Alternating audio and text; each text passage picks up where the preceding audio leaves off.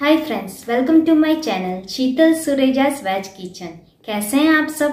आज मैं बनाने जा रही हूँ साबूदाने की खिचड़ी। साबूदाने की खिचड़ी बहुत ही आसानी से बन जाती है और बहुत ही टेस्टी बनती है।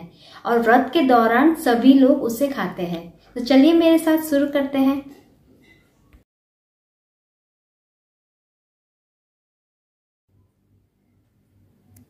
देखिए दोस्तों, मैंने एक कटोरी साबूदाना लिया है। साबूदाना को मैंने अच्छे से धो के पाँच छः घंटे के लिए भिगो दिया था। उसके बाद मैंने छन्नी में छान लिया। करी पत्ता, हरी मिर्च, कैप्सिकम, अदरक, फ्राई मूंगफली, एक कटा कच्चा आलू, जीरा का पाउडर भुना हुआ धनिया का पाउडर, आमचूर, नमक, तिल, पुदीना, तेल, धनिया और काली मिर्च का पाउडर। दोस्तों, मैंने गैस जला दिया है। अब मैं पैन के अंदर तेल डालूँगी। कमर डेढ़ चमची थोड़ा सा तेल गरम होगा।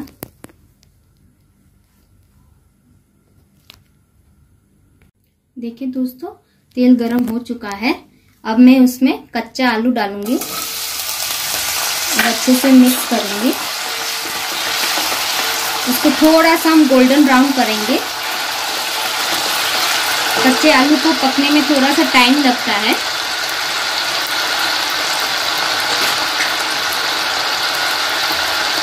अब मैं इसको ढक दूँगी दो तीन मिनट के लिए।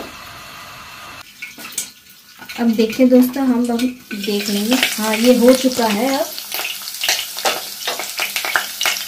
अब हम इसके अंदर डालेंगे करी पत्ता,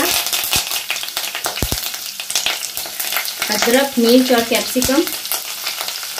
अब अच्छे से हम मिक्स कर लेंगे।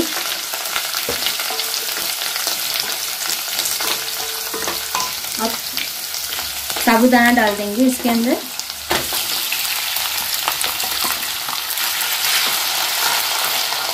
मूंगफली भी डाल देंगे।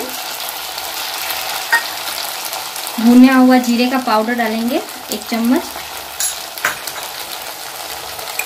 धनिया पाउडर डालेंगे एक चम्मच।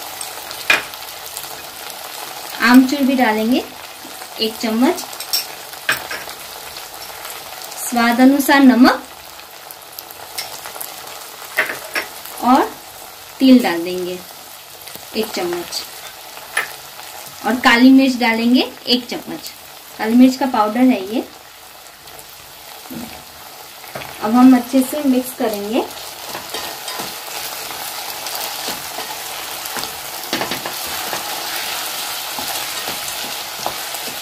तिल डालने से क्या होता है ना, उसका तिल का भी फ्लेवर आता है। बहुत ही अच्छा लगता है।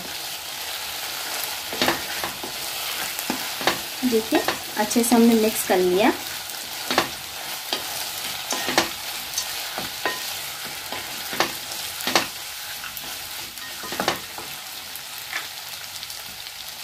पुदीने के दो तीन पत्ते डाल देंगे, क्योंकि पुदीने का भी फ्लेवर आता है और पुदीना भी बहुत अच्छा होता है पेट के लिए।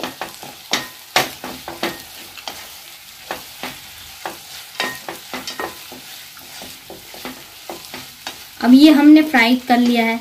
अब इसके बाद हम, है ना, उसको स्टीम करेंगे। देखिए दोस्तों, अब मैंने फ्राइंग पैन में से निकाल के साबुदाने की खिचड़ी को मैंने प्लेट में डाल दिया था। अब मैं इसको स्टीम करूँगी, पंद्रह मिनट के लिए।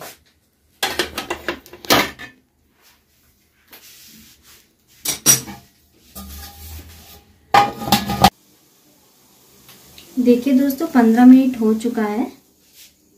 अब हम देखेंगे। वाह ये देखिए, मेरा साबुदाना की खिचड़ी बन चुकी है। अब मैं इसको बॉल में सर्व कर हूँ।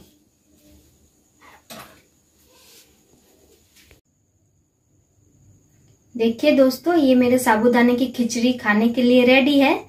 कैसा लगा ये मेरा वीडियो अगर पसंद आया हो तो प्लीज़ लाइक ज़रूर कीजिए और सब्सक्राइब नहीं किया है तो मेरे चैनल को सब्सक्राइब कर लीजिए।